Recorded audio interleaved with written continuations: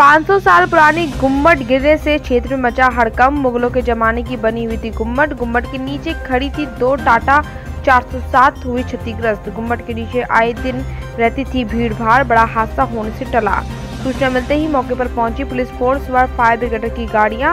थाना न्यू आगरा क्षेत्र के दयालबाग के खासपुर गाँव का है पूरा मामला।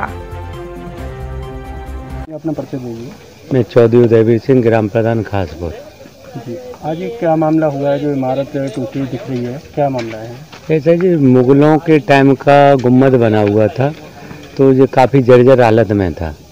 तो आज अभी करीब घंटे भर पहले ये अपने आप दरासा ही हो गया गिर गया। तो इसके नीचे दो गाड़ी टेंटर दब गई हैं। बाकी की कोई जनाने की ऐसी कोई घटना नहीं हुई। शायद एक सांड या गाय वाय और बता रहे हैं तो हमारी जेसीबी भी आ रही है। फिर पता चलेगा और क्या।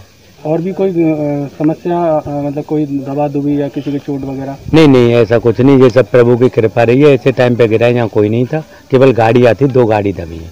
और कोई गाड़ी। डर गई लेटेस्ट खबरों से जुड़े रहने के लिए देखें हमारा यूट्यूब चैनल करें लाइक शेयर सब्सक्राइब